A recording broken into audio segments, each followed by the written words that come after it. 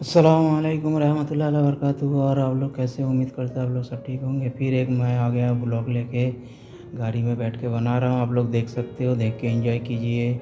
और अभी जा रहे हैं अं, सवाल नासिर जा रहे हैं, समझे हम लोग। आए थे अंदलुस की तरफ़ तो उधर से छपड़ा होके अपना मंतके में जाऊँगा। तो आप लोग देख सकते हो, देख के एंजॉय कीजिए। और वीडियो पूरा देख के एंजॉय करते रहिए।